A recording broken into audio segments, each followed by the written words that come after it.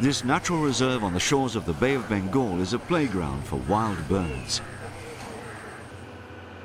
We're 150 kilometers north of Chennai, formerly Madras, on the road linking the island of Sriharikota with the Indian subcontinent. On the eastern side of the island, the sea stretches out along 800 kilometers from north to south, making it an ideal spot for launching rockets from different polar to equatorial orbits. Which is why one of India's key technology sites has been based here. The launch center, known as SHAR, the Satish Dhawan Space Center, named after the research scientist and former president of the ISRO, the Indian Space Research Organization. The island is home to two launch pads for the two rockets developed by India. We have uh, two launch pads in this facility. We have also two proven satellite launch vehicles. The first uh, launch vehicle we call it as PSLV, uh, Polar Satellite Launch Vehicle. Originally that uh, vehicle has been uh, designed and realized for launching satellites in the polar orbits. The next generation vehicle what we have developed is called GSLV that is a vehicle for launching satellites in the geosynchronous orbits like communication satellites.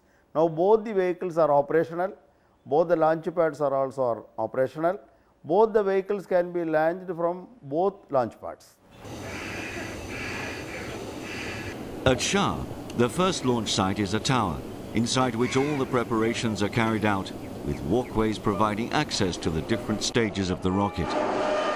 The structure is similar to that used at Kourou for the first Ariane, the tower being rolled back a few hours before takeoff. And this is the second launch pad. Here you can see preparations for the Chandrayaan lunar mission with the assembly of the different elements of the PSLV rocket. PSLV is a four-stage launch vehicle using liquid and solid propulsion. Initially designed for one-ton polar orbit satellites, PSLV is also able to launch one-ton craft into geostationary transfer orbit, which is the performance level required to launch Chandrayaan on its way to the moon. The other model, also entirely Indian built, is the GSLV, which has a two-ton capacity for geostationary transfer orbit. Both versions can be made ready at the same facilities. This is a two-part launch system like Ariane 4 and 5 in French Guiana.